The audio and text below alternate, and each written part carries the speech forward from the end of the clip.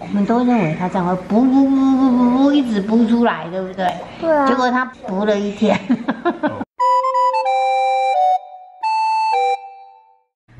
老雨先生。看着刚出生的小鱼游来游去，真的是超疗愈的。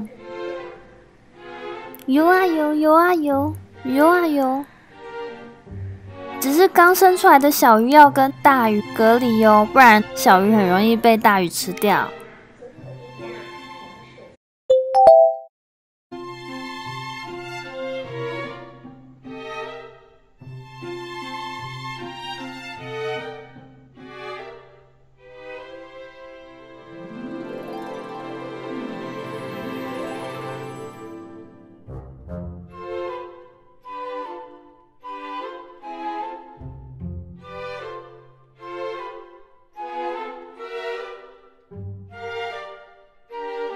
它生了一天，其实应该蛮累的。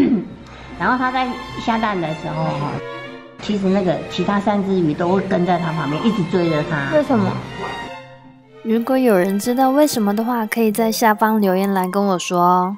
喜欢我这次的影片就帮我按一个赞吧。想要看更多影片就要记得订阅我的频道哦。